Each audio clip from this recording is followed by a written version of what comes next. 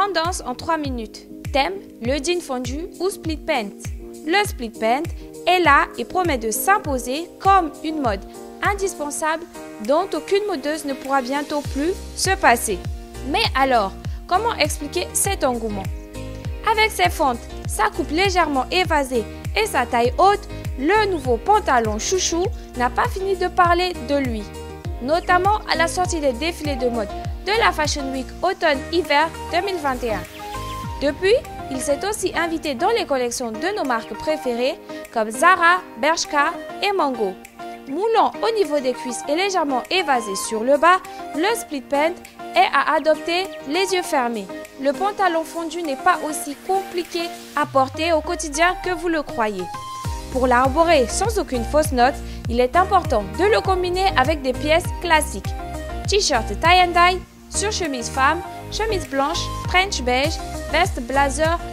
Côté chaussures en été, optez pour des sandales à talons transparents qui pointent joliment le bout de leur nez à travers les fentes. Vous pouvez aussi miser sur vos plus jolis escarpins.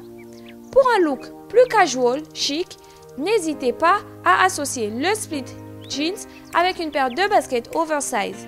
Si vous hésitez encore à sauter le pas, voici un top 5 de vos fashionistas nous ouvrons ce classement avec la youtubeuse Ocean Eleven. Elle porte un body couleur pêche avec un blazer rose pétant par-dessus.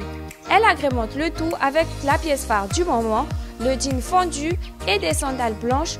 Son look est simple et efficace. À la quatrième place, nous avons la splendide Gloria Ade. La youtubeuse d'origine ghanéenne porte un split jeans bleu foncé avec une chemise oversize grise rappelant les tons de son jean. Elle accessoirise le tout d'une paire de daddy shoes. À la troisième place, Rihanna.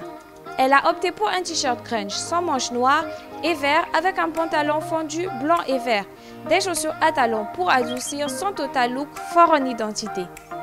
La seconde place est attribuée à Didi Stone Olomide. Le mannequin nous sert une version féminine et sexy du sweet jean, le tout dans un décor très bobo parisien.